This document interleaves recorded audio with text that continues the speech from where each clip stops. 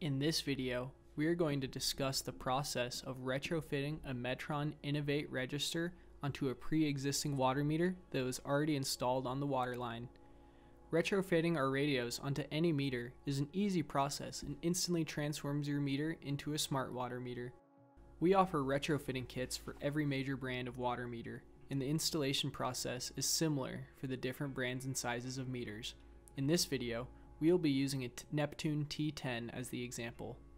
In the package with your radios, you will receive the plastic housing pieces, adapter rings, and the tri-wing set screw. To remove the radio from a Neptune meter, use a screwdriver to release the security pin. This works best with a swift motion to release the pin without breaking it.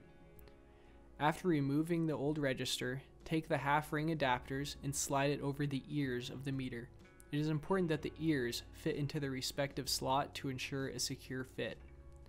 After securing the adapter rings, place the radio inside the housing and clip on the housing cap. Place the radio onto the adapter ring and apply solid downward pressure and snap it into place.